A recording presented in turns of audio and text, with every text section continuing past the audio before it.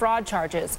Karen DeSoto is a defense attorney and former prosecutor, joins me now. Uh, Karen, when we're looking at this, I, I want to be clear. It's not that prosecutors are saying they are responsible for Anna Nicole Smith's right. death. Right. However, if they gave her the drugs that killed her, doesn't that seem like the logical next step? Yeah, it sounds like uh, reckless endangerment to me, but however, they had enough to get them on 11 counts here. Remember, when they found Nicole, there were 11 prescriptions that they found next to her bedside and her purse and on her person.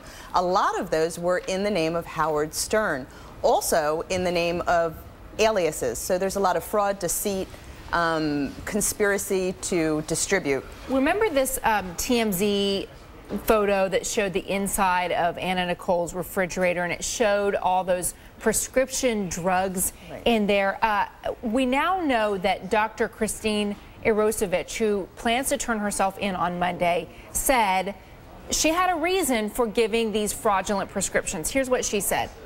It was done for privacy reasons. She did the best she could under difficult circumstances in the best interest of the patient. Uh, you know, this, and again, this statement coming from her attorney, is there ever a reason why a doctor can legitimately claim, I wrote out the prescription under for an assumed name because otherwise everybody knows that a movie star is getting this particular prescription. No, it's very nice that she wanted to protect her privacy right, but like doctors, even the, the pharmacists, they also have privacy rights. So obviously this was a violation. And saying that is only one aspect of it, Contessa, because then you have all of these other prescriptions that she wrote. So she's talking about one part of a multi-count indictment. So it's Dr. Khristine Eroshevich, Dr. Sandeep Kapoor, who already turned himself in and is out right now on $2,000 bail. Howard K. Stern also turned himself in. He's out on $2,000 bail.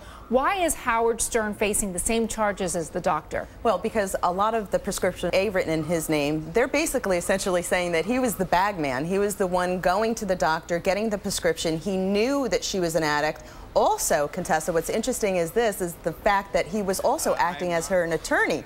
So now he's going to be facing ethical violations on top of all of this. But basically, yeah. he was the bagman. He knew he was going and getting the prescriptions, picking them up, allowing them to use her name, knowing that she was going to use the prescription. I know you're with us morning. We are expecting a news conference uh, this afternoon. So leading up to that, we'll talk more about this case and what it could mean in the investigation into the death of Anna Nicole Smith. Uh, California Attorney General Jerry Brown will hold that news conference uh, live at 1 p.m.